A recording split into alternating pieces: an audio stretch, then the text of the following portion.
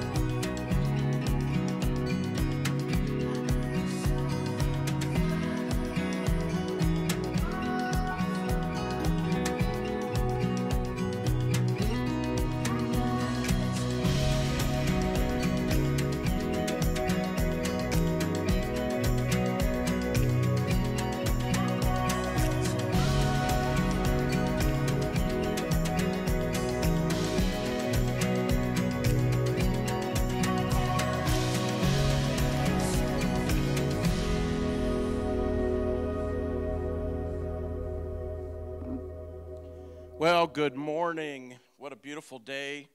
Uh, welcome to Mountainside. Welcome to those that are online. We're so happy that you could be with us today. Happy Mother's Day. Isn't it a fun day on Facebook when you see all these tributes to moms and and uh, what a great thing. I actually found a picture of my mom before I was born. So I was in the picture, but you can't see me. So that was a fun find last night. But uh, welcome. We're so glad that you're here with us today. Um, in a few weeks, we're going to be uh, moving and increasing our capacity because we're moving to a bigger, bigger space. And there are a lot of people that are working very hard to get that space ready. Uh, so it's not just like sitting in a gym for church. It will really, uh, it will really feel nice. And we're working on this sound and all of those, those things. So uh, uh, a lot is a lot is happening. Um, we're going to have Ben come up and give us an announcement. We got some special things planned. Ben. Thank you. Uh, raise your hand if you were at work day yesterday. There's a few of us out there. Um, I think we talked about how many rocks we picked up yesterday. There were in the, it was thousands or millions conversations. So I'm not sure where we landed exactly, but there were a lot of rocks picked up. We had a lot of projects done around the property yesterday. About 50 people showed up uh, just to get some different tasks done, whether it was some landscaping, some cleaning up uh, of some areas. Um, we got some painting done. We got some demo done and prep for remodeling of some bathrooms up in the youth center up top. So it was a lot of uh, a lot of effort. A lot of people came out, and thank you so much for that. Uh, just want to make sure it's on your calendars for this coming weekend uh, for the couples. We're having a couples night. Maybe you've seen it out there on the email, the Mountainside email Connect um, email, or it's also on our webpage as well. Uh, if you haven't, go to that website, click events, sign up for that for this Saturday night. It's from 6 to 8. Um, join us out just for uh, evening as couples. It's going to be right in here. Um, it's a free event. All you have to do is bring uh, a meat for you and your spouse. Bring a meat for you and your spouse. Bring your spouse too. All right. So uh, just make sure you do that. Um, we'll have some grills set up here. We'll take care of all the sides. Um, and again, we just you know we get to uh, a privilege to be together as a community in this in this room as this church. So it's a joy to come and just hang out together as couples. So take advantage of these opportunities uh, as we have them come about. Um, if you're not looking to be part of this, if you can't be part of this event for that night, but maybe you could say, you know, I could I could uh, kid sit for someone, I could babysit for someone. Reach out to a family that has kids and maybe uh, could you could help alongside of that. So please sign up by Thursday. We want to get everything so we can have our food numbers right um, for Saturday night. Again, Saturday night, 6 to 8, right here. Thanks. Thanks, Ben. Uh, next Sunday is going to be our quarterly business meeting right at the end of this service. And uh, also, you're aware that uh, we have coming up the Timothy Initiative uh, offering on Pentecost Sunday. Um, and that's coming up quickly, May 23rd. Um, did I give the right date for the business meeting? Is it next Sunday? Okay. My mind just all of a sudden uh, said, I think you said that wrong. But uh, anyway, when uh, I was down at the summit a few weeks ago with the Timothy Initiative, I mean, here is a ministry that has thousands of churches being planted, and the numbers are so big that you wonder okay, they say they check, but I wonder how thoroughly they check. It just sounds unbelievable. And they were demonstrating their new system and it was picking a country and then drilling down into that country into this city and literally coming up with not only how many churches but each pastor the picture of the pastor the application of the pastor and the names of the tituses and whether or not uh, they were sponsoring um, a widow or orphan I, I was completely blown away at the extreme level of accountability that the ministry has. Remember, I said a few weeks ago when those churches disbanded as people fled for their lives um, in uh, West Africa that uh, they had lowered their number 147 because they couldn't locate or hear from 147 churches. So when I give you these numbers for the first quarter of this year, uh, this represents uh, 6,207 churches planted, which means they've received 6,207 applications with the pictures of the Timothy that have been approved. Um, 122,000 new believers in the churches planted and 6,264 widows or orphans um, being impacted by these local churches. We're trying to raise $10,000. We have a, a, match for $10,000.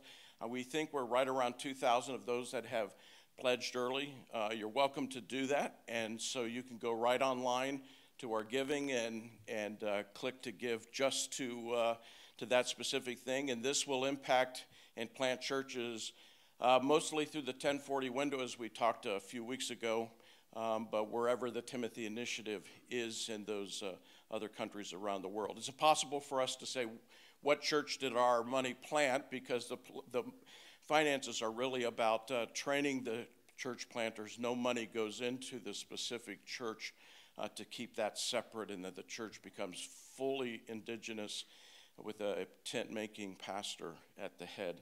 So that offering's May 23rd, and uh, we thank you for your regular giving your faithful, continuous giving to our general fund, to our missions, and also to our um, generosity fund, that uh, compassion fund. We have been able to impact families uh, on a consistent basis in our community, and uh, it just means a lot. It really speaks highly of our church, and thank you for continuing to fund that account as well. Let's go to the Lord in prayer. Thank you, Father, for your faithfulness to us, and that you are faithful even when we are faithless.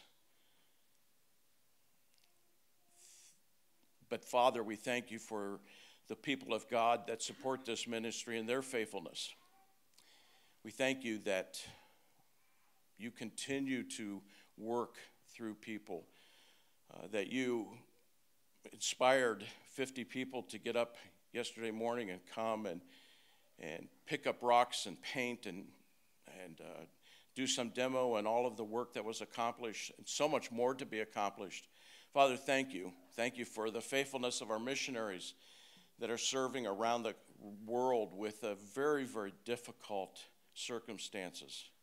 Father, we pray for those that are suffering in our church family and, and in our friendships around. I just even the word yesterday from friend for so many of uh, Debbie Palmer, we just pray that you would uh, work in her life and, and bring healing to her body. And for so many others, Father, we just pray. Thank you that, that we have a hope in spite of difficult times. And uh, we just praise you for that. Father, in this service, we pray that our lives would be impacted, our lives would be changed. We pray that you'd bless Pastor Lyle as he preaches, um, that none of us would leave here the same as we came in, and that our minds and our hearts would be focused on serving you and bringing honor and glory to you. In Jesus' name, amen. Would you stand and join us as we continue singing this morning?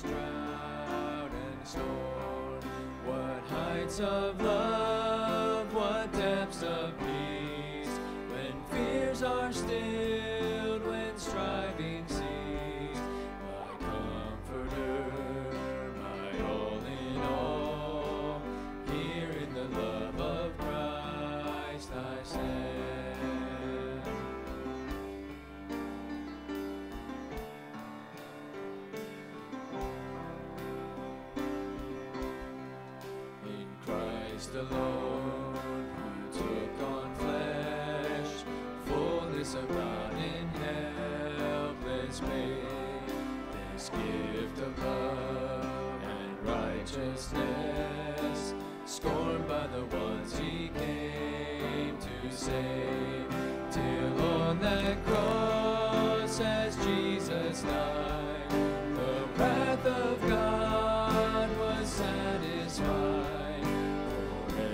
God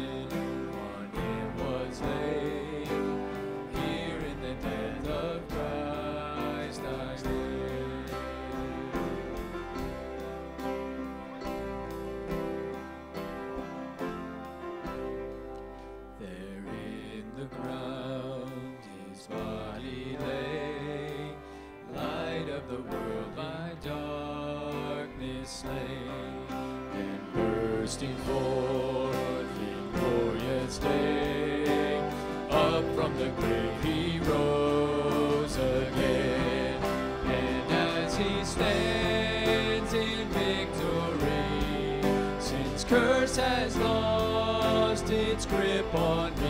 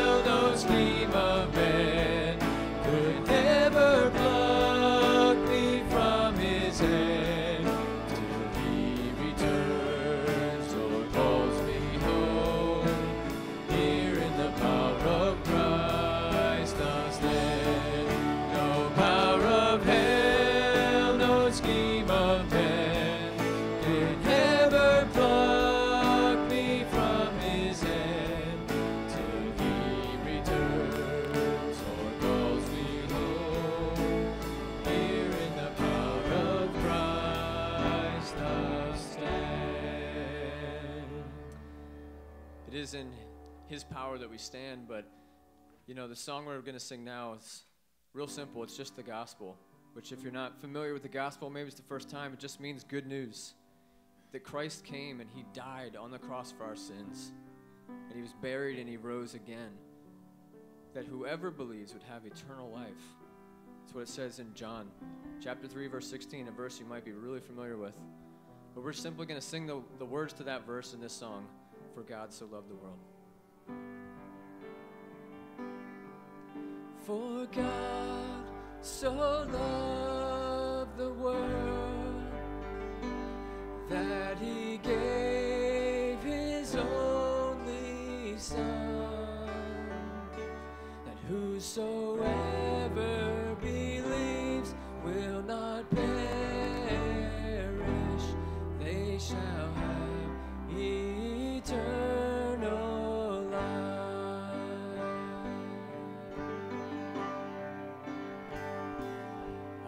shall hold to the cross.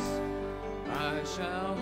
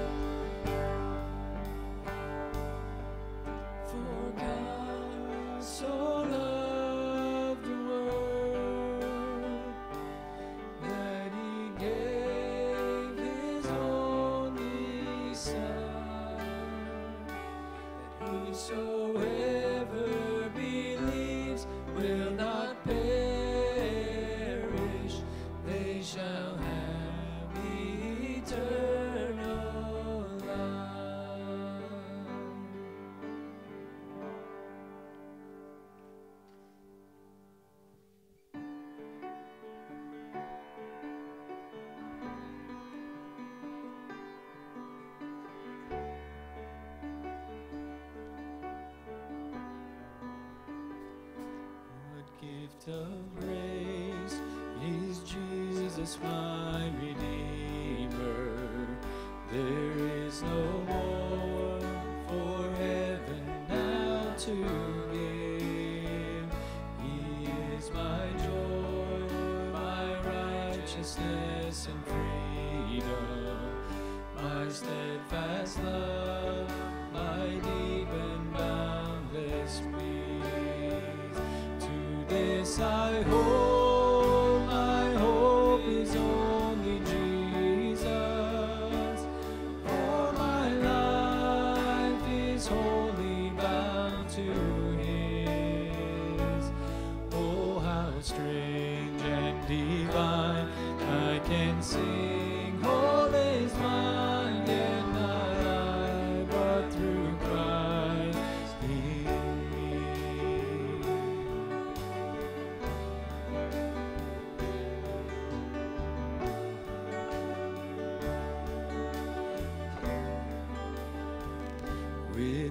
every breath.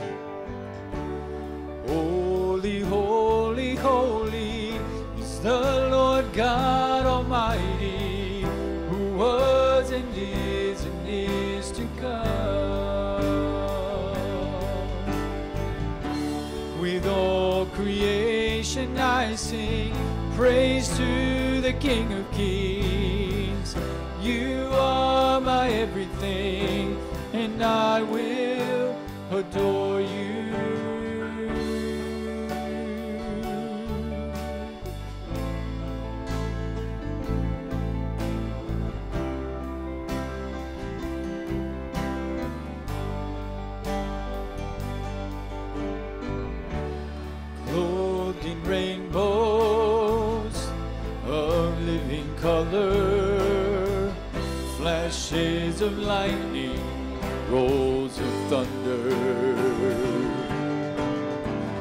Blessing and honor, strength and glory and power be to you, the only wise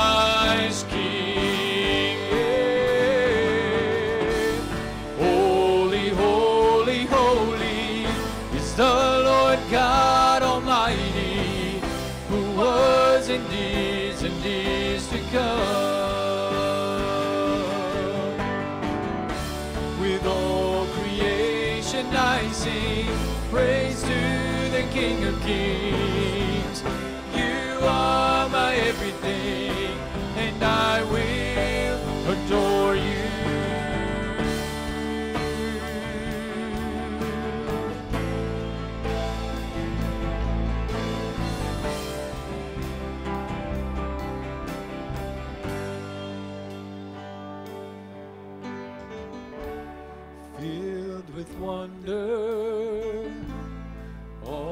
Awestruck wonder at the mention of your name. Jesus, your name is power, breath and living water, such a marvelous mystery.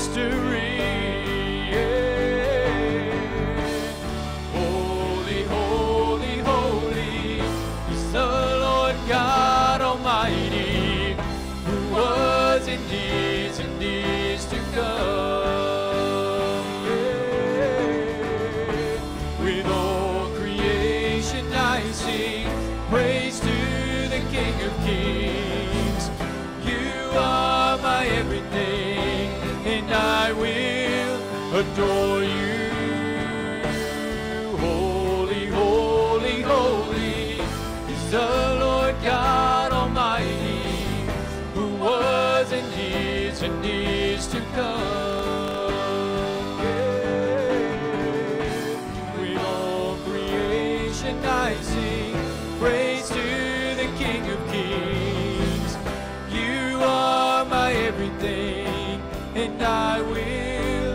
adore you.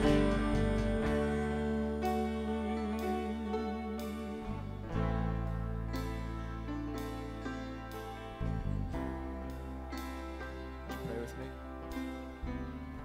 God, we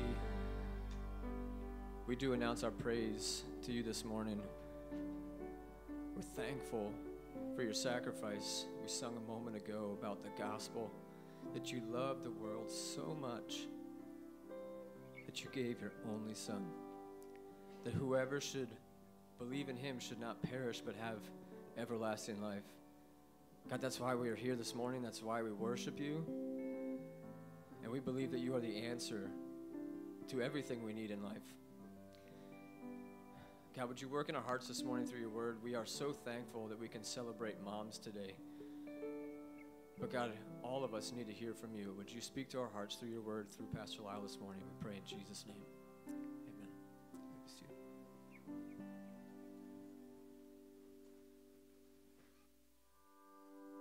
My mom is absolutely incredible. I definitely would not be who I am or where I'm at today if it wasn't for her. I'm thankful for her and that I love her more than I can express. Just everything that she's done for me is so much a part of who I am today. Call her on the phone? Are you serious? Yeah. Oh, yeah, I could do that. I would definitely do that. I'm gonna cry so hard. I am just really happy that you're a part of my life and that you've been a huge mentor of mine. And we couldn't have done it if it weren't for you being willing to sacrifice. I just want you to know how much I love you. I never realized how much you did and how much you juggled until I had kids of my own. I love you a lot and that I appreciate everything you've done for me in life.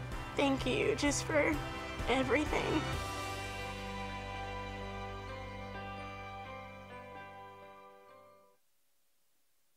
So, if you haven't had that phone call with mom yet, I would encourage you to uh, hashtag call a mom. Maybe it's not your mom. Maybe maybe your mom's not mom's not here anymore, and so you call maybe another mom, another influential uh, lady in your life who you you share some of those sentiments that you just heard. Um, it's amazing how in our lives, for many of us, mom has been a go-to kind of person, right? For help and hope in, in times of need, crisis, or, or struggle in life. Uh, I'm sure over the course of your life, uh, many of you, you've, you've, said, you know, I, I hope that mom can fix it. I hope that mom can make it feel better. I hope uh, mom will, will know what to do. And for some of you, even as adults, you still have a regular routine of calling and talking and spending life with mom. The sad truth is today, not everybody has that resource. Um, we live in a broken world. So today, there's a lot of brokenness surrounding Mother's Day. It's a hard day for some of you today. In fact, Pastor was sharing how he had a conversation a while ago with, with someone who was just talking about this the, the difficulty, the struggle surrounding the topic of mom, the relationship with mom, or the absence of relationship with mom. Or you are a, a mom who you remember when you, uh, where you were praying for pregnancy but lost the baby, and prayed for pregnancy and lost the baby, and prayed for pregnancy and lost the baby.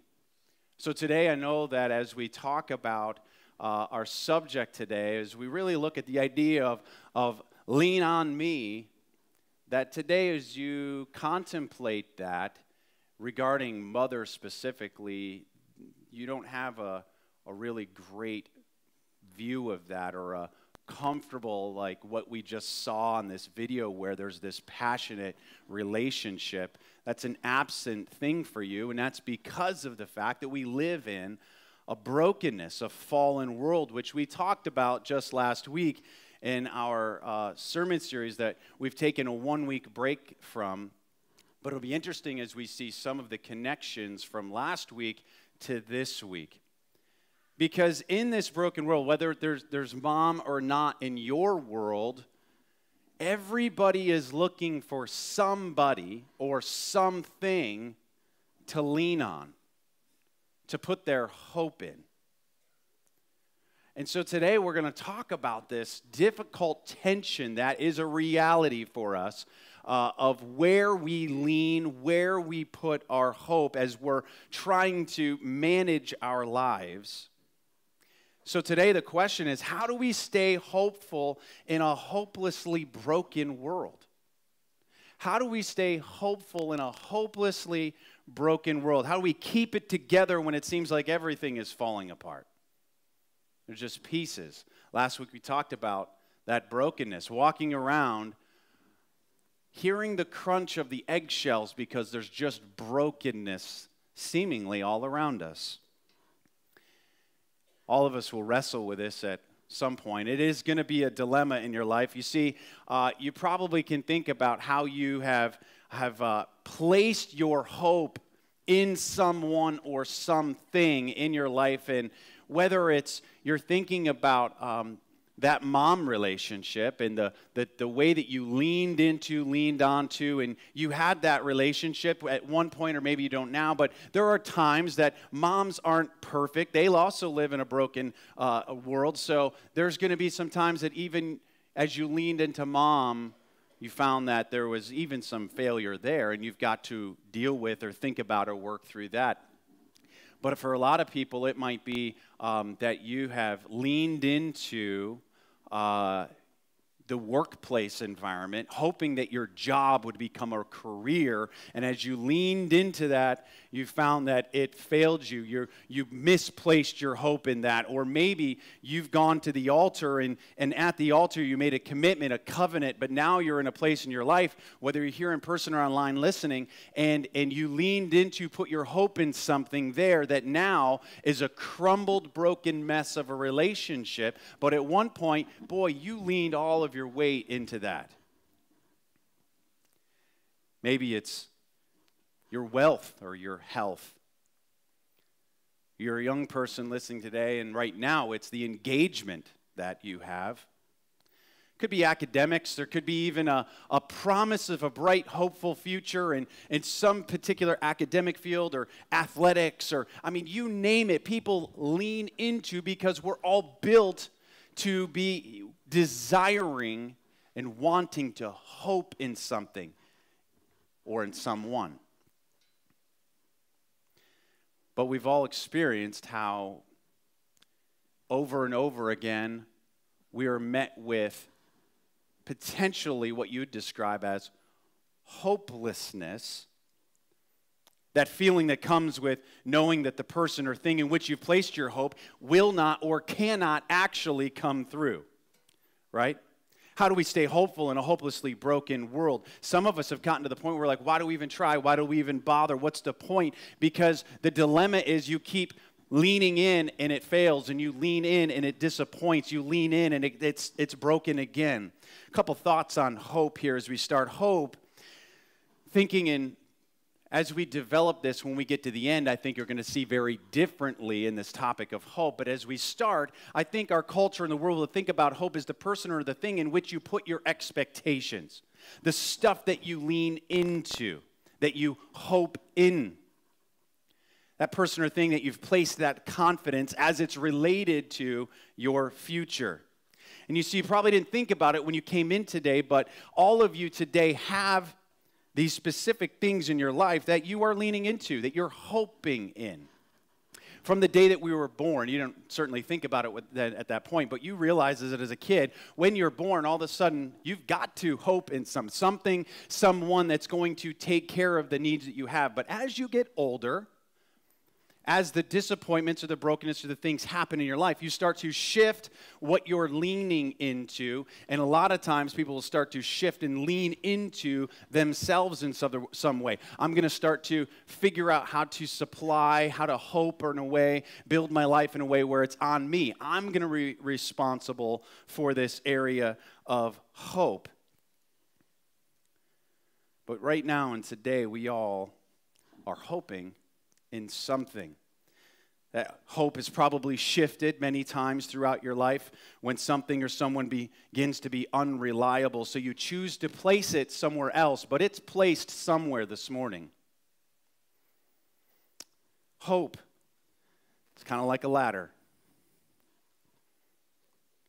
leaned against the wall of something. Now, as we think about ladders leaning on hoping in something, uh, it, I, I couldn't help but but show you a few pictures of people who used a ladder and placed their hope in some pretty ridiculous things like this guy. I mean, you've probably seen some of these, and I don't know how clear it is from the back row, uh, but man, like, when you think about that, that dude is hoping that that railing will actually keep him from severe harm or maybe even death, right? But this is like this is like child's play of ladder ridiculousness. Like let's go on to the next one. Here's a few of them. Okay, so as you're looking at it, this person's like completely hoping in their buddy here. I mean, this is fairly ridiculous, right? Hoping in a friend, hoping in his footing, like that doesn't even make any sense looking at that middle picture, but yet I have to say and admit I've done that before. This one over here, uh, have not done that have not done that. And um, I, I can't even quite understand it. Uh, but as you look at those, you're thinking, wow, those guys um, are hoping in some pretty unsure things. They're leaning into with their lives in some of those situations into some pretty crazy stuff. But this one to me is amazing. This is you've probably seen this meme before. Uh, go ahead to that next one. Yeah, when your second idea seems more sketchy than your first, always choose the latter. Ah, it's a great meme. That's a great meme. Uh, but man, that is I mean, you probably can't even see the extra cabling that's in the picture, the rope that's tied off to maybe the truck out in the street. I don't even know. But the fact is is that we lean into we lean into these things. We put our hope in these things. And look at the things that we tend to lean into. We put our hope up against family, power, careers, wealth, our talents. And the list goes on and on, doesn't it? Like, this is the life that we regularly live. And, and as you're starting to think about and evaluate, you didn't walk in here thinking about it, but boy, you've leaned in and against. You've set your ladder up against some things in your life. No doubt.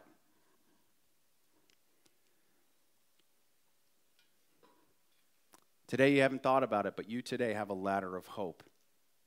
Something that you probably didn't think about or hadn't thought about until that particular thing started to dissipate, started to disintegrate, started to erode started to disappoint you, started to let you down in some way. Like the guy realizes when he's up there changing the light that all of a sudden maybe that banister starts to lean in a little bit with him.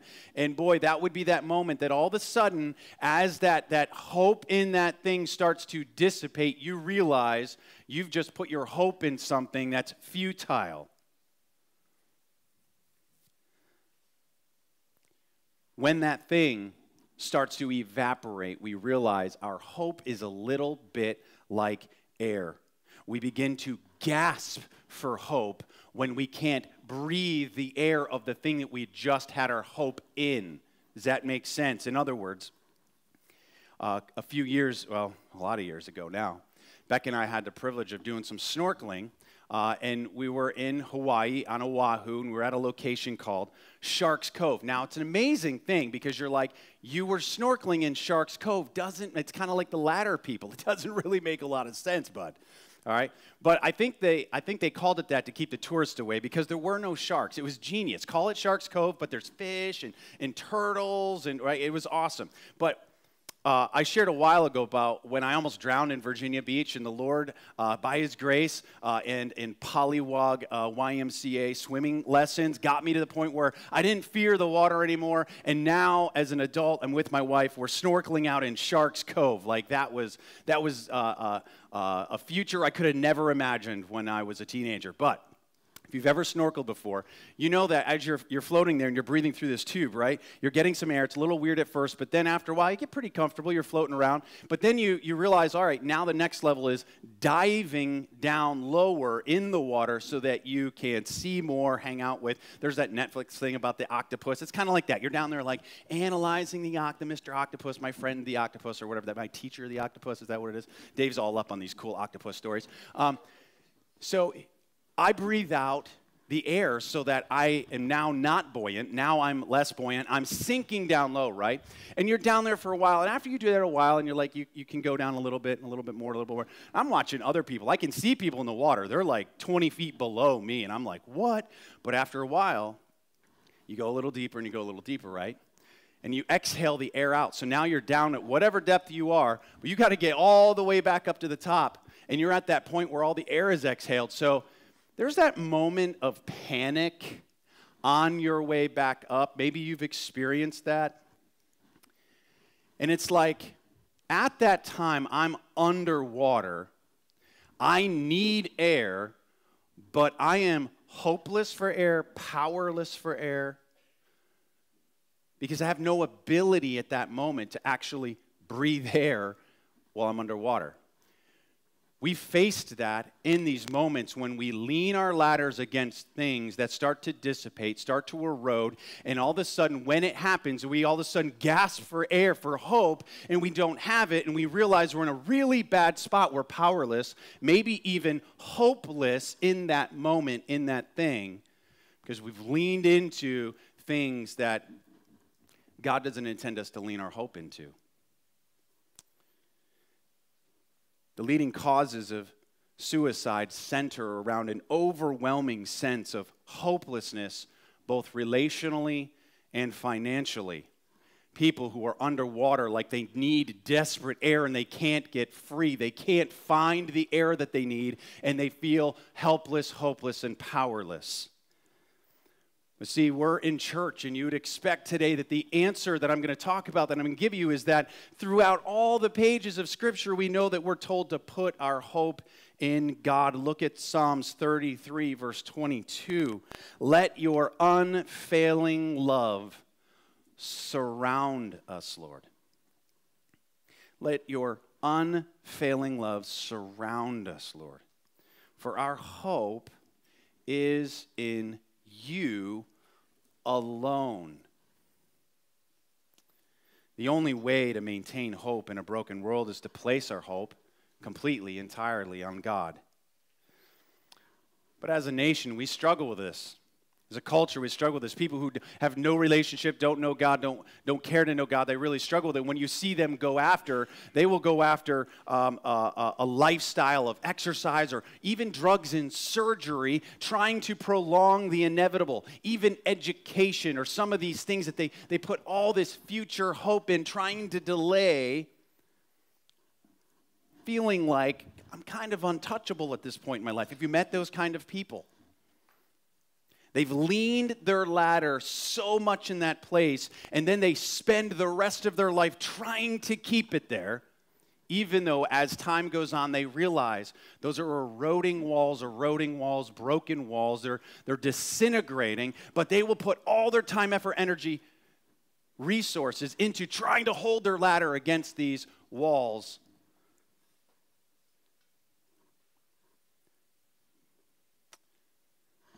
But ultimately, ultimately, in the end, those are hopeless walls. It doesn't work ultimately. Why? Because ultimately the world is broken. Broken way more than we know. We were looking at this just last week. Now, the, the Bible addresses this head on in many different passages.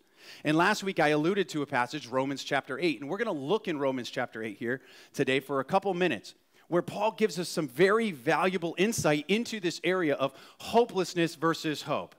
This, this disintegrating, broken uh, uh, world versus complete, utter, surrounded by the hope that we can have in God. Romans chapter 8, some of this I'm going to paraphrase, some I'm going to highlight, some of it I'm going to dig into as we go through. But he begins and talks early in the chapter about when sin entered the world, the fall. That's where we were last week in Epic, sermon, our sermon series of Epic, week two. We talked about the fall last week, the day that the world changed where Satan deceived Eve, she began to doubt God and His Word, doubt God and His goodness, doubt God and his character. She decided to, she was convinced by this deceptive serpent who was being controlled by Satan, the one who came to steal, kill, and destroy. He started there in the garden, and they chose to go after that which God said, If you do, you will die. Surely you will die. Ah, oh, did God really say? But she's convinced, and they, they, they take a hold of what God said, Don't. Sin, sin entered the world Paul says, in death by sin, death passed to all men, for all have sinned. Sometimes we think and look at sin as this moment by moment decision or choice or situation, that it's this isolated incident or act. But sin is a disease as it's described. That it's not just infected, but affected all of us and all of creation. We just touched on it last week. But have you noticed that everything that has life dies? the world in which we live, and it's not different today than it was 1,000, 2,000 years ago. The problem, the disease of sin existed then, it's existed since the garden. But you can look and open your eyes and your ears and very quickly see the perverseness, the depravity of the effects of sin on our world. Eggshells crunching under our feet every step that we take, broken, pieces that can't be put together like an egg.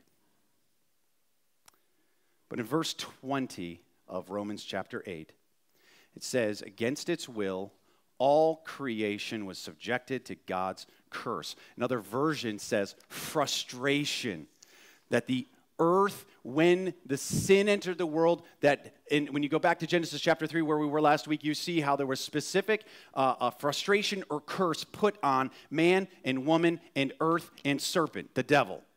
They were all had their, their curses that were put on. It was this disease of sin taking over, and we still live with those effects in us and around us uh, today, as well as the earth. All things are broken, all things are affected by this. Against its will, creation was subject to this curse.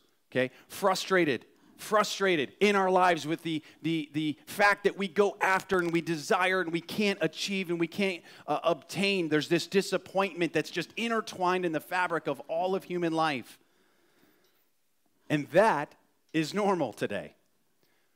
But remember, that's not what God created. God created that what was good and man and woman, very good. But today, normal is not good right? Because sin came in and broke it all down. Decay and sin is being allowed to run its course. And people spend a lot of time and energy trying to slow that course down. But we see in the end of verse 20, but with eager hope, verse 21, the creation looks forward to the day when it will join God's children in glorious freedom from death and decay. So, what it's saying is that all things in this world are subject to death and decay. But yet, for some reason, we keep thinking that we can lean our ladder of hope on all of these things that we know are going to break down, have broken down, are in the process of breaking down. One day, it's going to be broken. So, in a way, it's kind of like the pictures of the people with the ladders what in the world are we doing? Like, if you've ever had that moment, I mean, I've had way more than I care to share of the ridiculous trying to lean my ladder in the awkward positions and at too tall, and it's, it's, it's uh, foolishness, total foolishness. Some of you don't understand that at all. You're scared of heights to the point you're like, I, first rung of the ladder, not even for me, right? But the truth is, is that I have in my life chosen to lean my, I've chose to lean my ladder against things that I know with fact are going to decay, erode. It's a pretty bad idea to attach our hope to anything in this world then, because it's all decaying. There's nothing that's really as stable as we think it is. Think about it. Paul himself, I mean, if there was any, some, any humans that lived out there that should have been given some pass from this decay. Some pass, like their life was so unbelievably amazing. Shouldn't God have given them a pass? Paul died, Peter, James, and John died, Jonathan Edwards decayed, George Whitefield, Spurgeon, Moody. I mean, even Mother Teresa died in 1997. If there was ever a human on Mother's Day that we could say, wow, look at what they did, sin's effect was not passed by. Things are breaking down, decaying.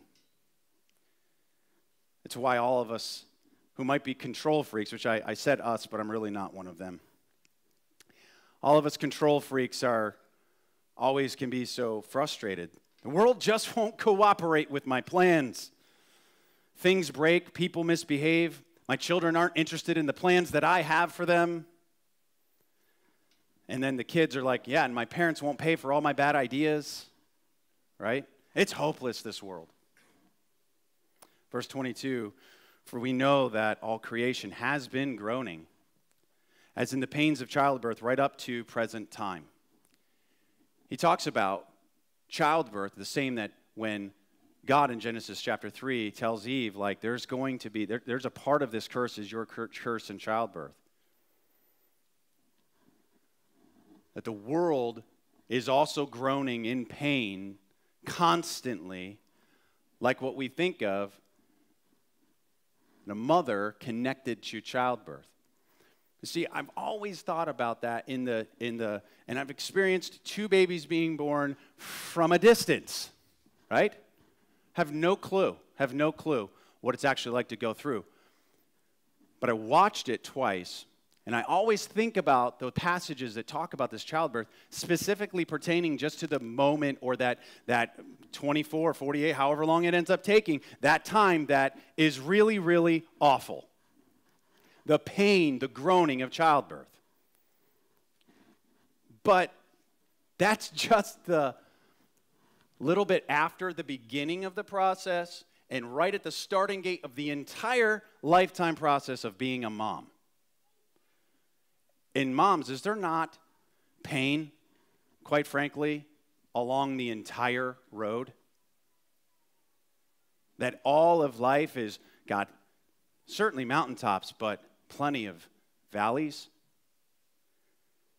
The mom reality is Today, some of you, as I said earlier, have hoped to get pregnant again and again.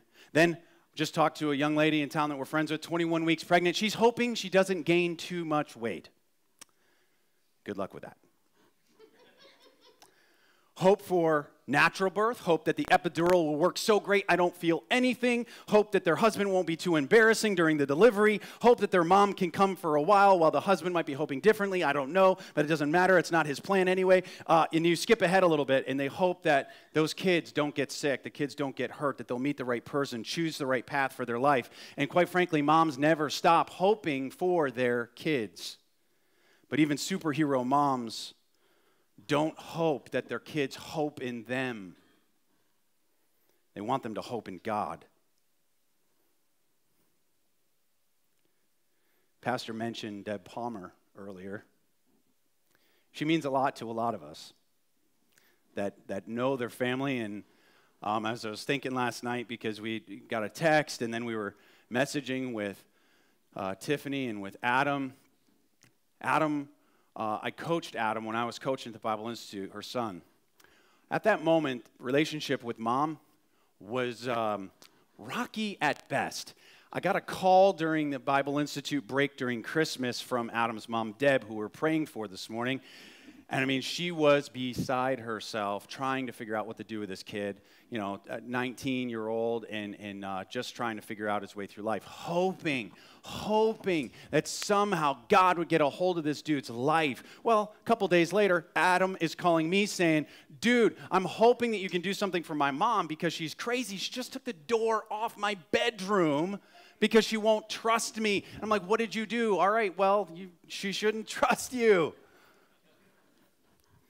And today, all these years later, there's a dude that was texting with us about his mom last night. God's gotten a hold of his life. She never stopped hoping for him, but she didn't hope that he hoped in her. She really hoped that he would hope in God. And there's a son who has a relationship with his mom that hasn't always been perfect because the world's broken. It's a frustration that creates a longing inside of us, this broken downness that happens in the world because of sin. We long, and people long who don't understand it. They long for something bigger, something better, something that they can really rest assured in that their hope is not going to eventually let them down something beyond this life, something that would, would save them, would rescue them, in essence, from this penalty, this problem, this decay, all the effects of sin. Verse 23 says, And we believers also groan we long for our bodies to be released from this sin and suffering. Don't we, church? Don't we long for that?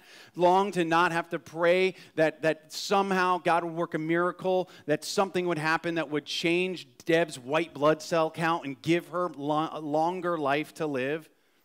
How many of those kind of prayers have you prayed this month for people who are sitting here right now and listening online this morning? Yet we also groan. We wait for the day when we'll be released from sin and suffering. We too wait with eager hope, eager hope in the day when God will give us the full rights of his adopted children, including new bodies as he has promised. That will be amazing. That will be awesome. We hope right now for Deb's healing, for Jill Riley's healing, for others that we pray for often, for Chuck McKenna to get lungs finally. I mean, how many times are they going to go through and be disappointed and then, oh, hopefully, but disappointed? You're leaning your ladder against a wall that's built on decay. Verse 24, we were given this hope when we were saved. If we already have something, we don't need to hope for it. But if we look forward to something we don't yet have, we must wait patiently and confidently. Now, why didn't he say it? But if we look forward to something we don't yet have, we hope for it. He didn't describe it as that, did he? He said, if we don't have that something, we look forward to that something we don't yet have, we wait patiently and confidently. It, this is a completely different type of hope than what we've been talking about leaning our ladders against. Because this is saying there is a present confidence of a future reality. It is guaranteed inheritance. You know what an inheritance is. You hope that one day maybe you'll get it if the government doesn't take it all, right? Whatever my whatever your thoughts is, whatever your thoughts is. This is guaranteed inheritance. It's a sure thing, 100%. God said so. Remember Eve? Did God really say? No, she learned her lesson. Don't doubt God. Sin comes in the world, and now we're dealing with the effects of all of that. But we have a hope that is a sure thing, present reality present confidence of a future reality, excuse me, guaranteed inheritance. You see, we're tied to a bigger story than all of our lives. Uh, tied to our, our, our, lives are tied to a bigger uh, story than this one little life that we live in. And when we became Christians, we knew that this life wasn't what it was all about. There was a future hope to lean into. And we wait patiently and confidently for it. We don't give up hope in this area, we wait. See, verses 26 through 30, just paraphrasing, God is working now in this life. We might find ourselves frustrated we might find ourselves uh, uh, uh, just struggling through this decaying, broken world, and God understands. He hears our prayers, even at our weakest moments. He's hearing our prayers, even if they're just groans of frustration and mourning and agony. But even still, He is working toward our good and His glory. And then look at verse 31. What then shall we say in response to these things? If God is for us, who can be against us? If God is for us, who could be against us? Maybe our paradigm needs to shift a little bit that as we are thinking about these temporary hopes that we place our ladder against, that in a way we're like, oh, we're leaning our ladder against this. But in, it's kind of like you're leaning against something that isn't really for you it's broken down and, quite frankly, against you. So, you ever have that moment where you set your ladder up, it's a little bit too steep, and you start to climb, and actually, oh, look at where you go. You never experienced that? Okay, another dumb Lyle moment with a ladder. Okay? It's not for you, it's against you. You think you're leaning your ladder into something, but what this verse is saying is that what should we say then in response to these unbelievable things about God working, understanding that we live in this broken world, and yet he is working towards your good for His glory. He is for you, not against you. It means that you've chosen to move your ladder. You've moved your ladder.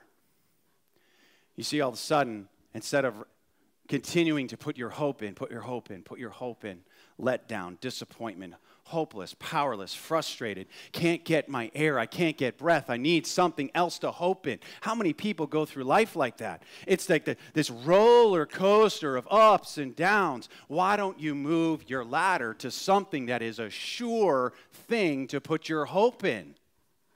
Move your ladder. Because verse 38 says, I'm convinced that nothing, absolutely nothing, can ever separate us from God's love. Neither death, nor life, nor angels or demons, neither our fears for today or our worries about tomorrow.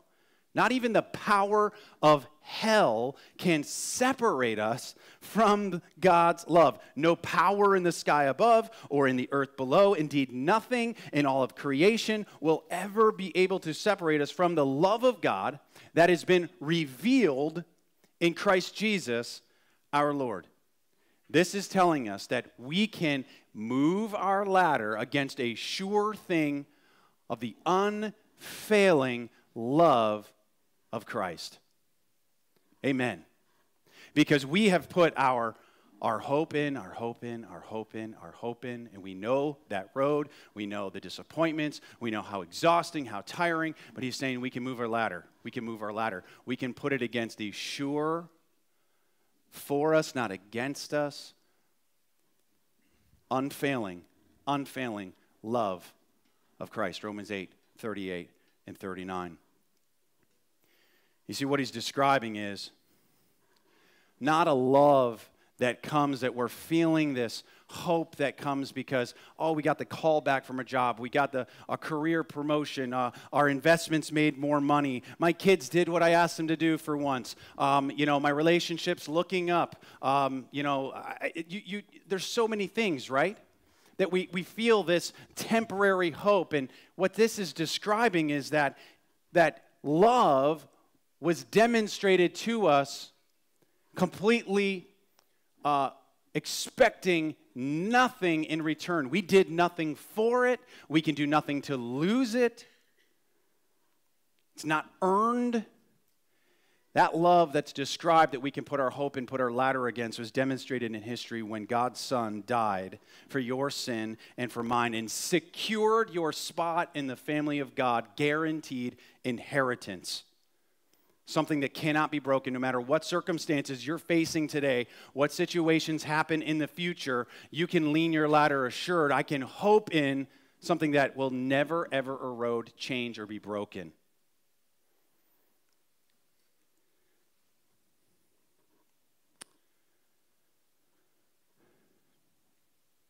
Today, I hope that you discover where you're actually leaning on or what you're actually leaning on. Because today you will either choose to move your ladder or lose your hope.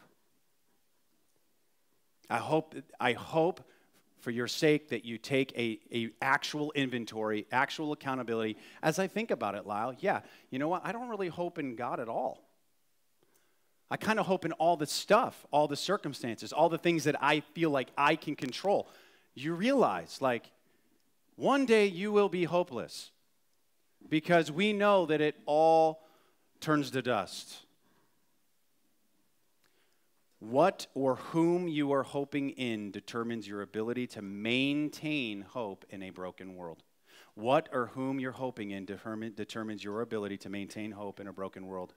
And today I'm inviting you to lean your hope against God's unending love for you. It's an amazing thing that happens, and you've got this death grip on the ladder.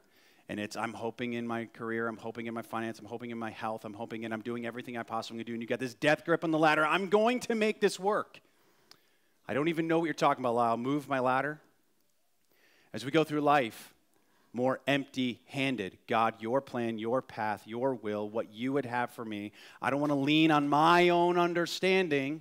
It's another wall that we lean on, but I want to lean on you, your ways. You will then, as I acknowledge you in every area of my life, you will start to direct my paths. You start to go through life where you don't have this death grip on the ladder, you become open handed. And amazing as you become open handed with your ambitions, your plans, your treasures, You begin to be open handed. All of a sudden, you have the ability, as you let go, oh, now you can actually move that ladder. The problem is, is that we have such a death grip on our plans, our control, our, our, our ambitions, hopes, plans, ambitions, uh, that, those things that, that, that drive you every day right now. God, what would you have for me? And take that ladder from that wall that's decaying, eroding, and going to leave you hopeless, powerless, and helpless, and lean it against the unfailing love of God. The verse we started with, Psalms 33 22. May your unfailing love be with us, Lord, even as we put our hope in you. Where are you leaning your ladder today? This is a conversation I feel like is pretty regular for Pastor and I and the other counselors here.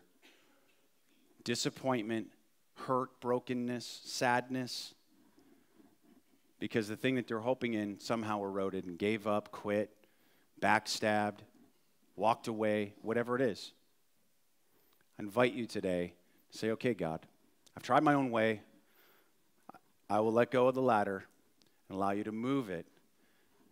And now start a new life where all of a sudden, no matter what the circumstance, no matter who lets you down, whether you have a, a uh, hard, relationship with mom today or no relationship with mom today, your hope isn't there.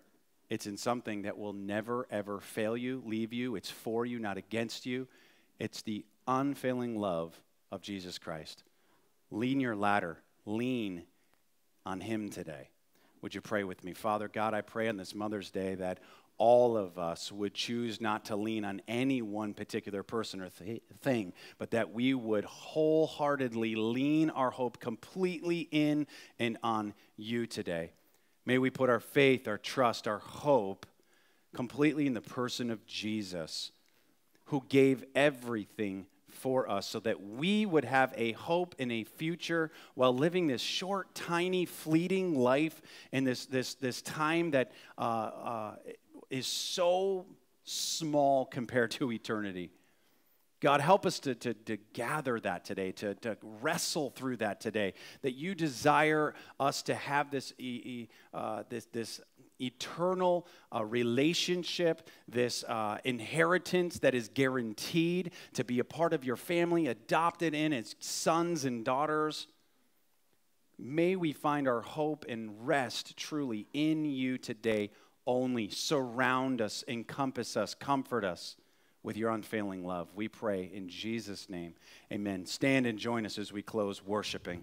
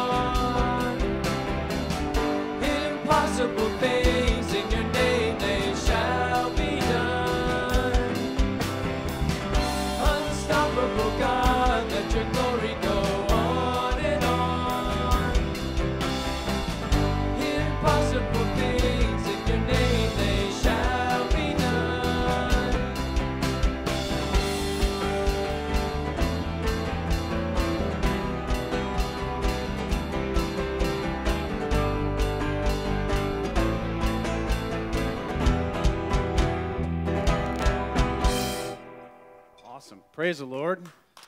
Amen. Well, moms, uh, it has been a privilege to have you spend the morning of your Mother's Day with us. And uh, so we hope that if there's anything we can do for you, do for you, folks are joining us online as well, please let us know before you go. Um, this week, uh, I've gone back and forth, and my wife just gave me advice, and I listen to my wife's advice. So, yes. Oh, thank you. Debbie, I love you. Um, so a year ago, we were in this weird time where we were online, mom, mom's church, and, and we didn't tell anybody we did it, but we, we went to the coffee shop in town and said, hey, whatever moms come in uh, for the week, just, just pick up their coffee on Mountainside. It was kind of just this secret thing that happened. And so I was kind of planning to do the same thing, and, uh, and I was just advised that maybe I should let the cat out of the bag a little bit, that starting tomorrow, uh, at the coffee shop, moms, if you go, moms who are online, if you go in, until the money runs dry, uh, your drink will be covered uh, as a gift from Mountainside, and uh, and maybe take uh, your your moms from the community who are not a part of our church family, who aren't believers, take them and let the church buy them a coffee as well as a gift from us to them, because that's a big part of our hope is that uh, the random mom will just wander in and find out that the church loved them enough to buy them a coffee, even though we don't know them. And so uh, let's use that as a platform uh, uh, to be able to preach the love of God to them as well. Uh, there's a couples event next Saturday night, and uh, there is a sign up for that that is available. You can sign up today. That would be amazing. Just commit. Just wives, just say, husband, you're coming. Write your name down, and then we can heckle you all week long to make you guilty about not coming and being a part of our, our couples night. Okay? Just kidding about the heckling part and the guilt part. That'll be God's work in your life over the week as to whether you show up next Saturday. But we'd love to come together next Saturday. Please sign up. You can also go to the events page on the website, and you'll see the event there. You can click on it and sign up there as well. Uh, God bless you. We love you. We're so thankful for you. Uh, rest, lean into Him for your hope this week. God bless you. Have a wonderful week.